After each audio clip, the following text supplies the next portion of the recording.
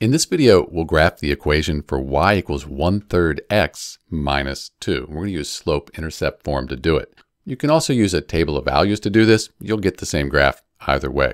So when we're looking at our slope-intercept form, the y-intercept, the y-intercept right here, that's negative 2. So that's where we're going to cross the y-axis.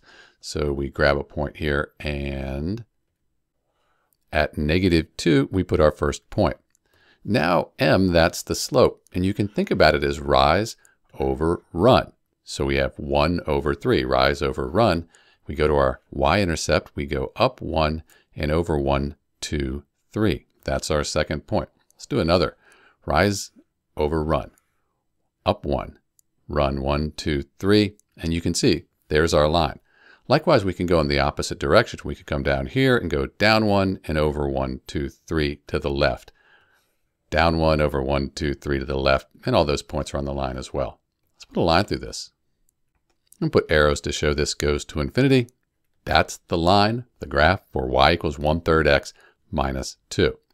If you put a value in for x, you get a value for y, and you plotted that, it would be somewhere on our line here. That's it. This is Dr. B graphing the linear equation y equals 1 third x minus 2. Thanks for watching.